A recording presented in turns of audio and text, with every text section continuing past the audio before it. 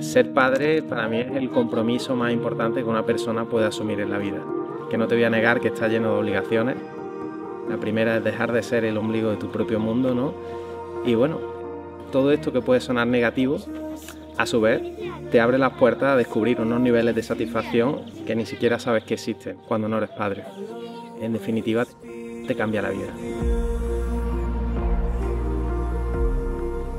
No hay mayor satisfacción que la de sentirme útil para mi hijo. El que me permitan ser su consejero en su día a día, estar apoyándole y ayudándole, transmitiéndole lo más o menos que yo haya podido aprender en la vida, para mí eso tiene una importancia vital. Y al final vuelves a hacer lo mismo que hicieron tus padres contigo.